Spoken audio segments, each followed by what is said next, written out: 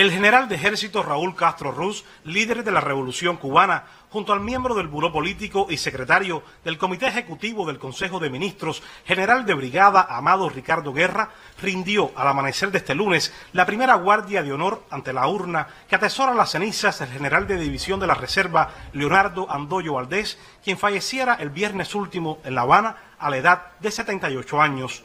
Durante el tributo, el líder de la Revolución cubana ofreció sus condolencias a los familiares del general Andoyo, con quienes compartió en este momento de dolor y resaltó las virtudes y los méritos del destacado revolucionario que entre sus múltiples responsabilidades en las Fuerzas Armadas Revolucionarias se desempeñó como jefe de operaciones y segundo jefe del Estado Mayor General de la FARC, así como las asumidas en los últimos tiempos en la máxima dirección del gobierno de la República. En el homenaje póstumo al general de división de la Reserva Leonardo Andoyo Valdés, realizado en el Panteón de los Veteranos en la Necrópolis de Colón, fueron colocadas ofrendas florales en nombre del general de ejército Raúl Castro Ruz, del primer secretario del Comité Central del Partido y presidente de la República Miguel Díaz-Canel Bermúdez, del Ministerio de las Fuerzas Armadas Revolucionarias, de la Asociación de Combatientes de la Revolución Cubana, así como de los familiares de quien con modestia y lealtad a Fidel y a Raúl consagrara su vida a las FARC y a la defensa de la revolución.